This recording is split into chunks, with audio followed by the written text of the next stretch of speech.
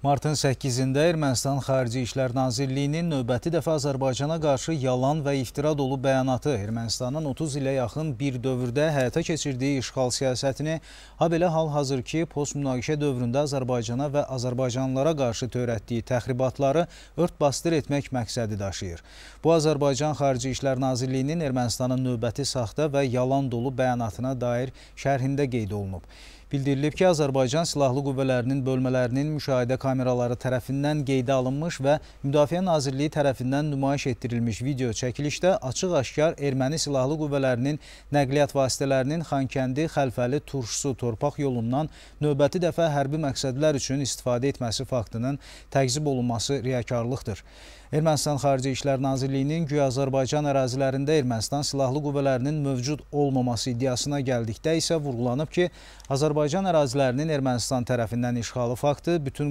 qüvvələrini Azərbaycanın işğal olunmuş ərazilərində yerləşdirdiyi, idxal etdiyi əsas hərbi texnikanı Azərbaycan ərazisinə ötürdüyü, bütün qüvvələrin Ermənistan Müdafiə Nazirinə tabi olduğu, bir çox hərbçilərə qarşı məhz Ermənistan ərazisində cinayət işi açıldığı və həbs olunduqları bəllidir.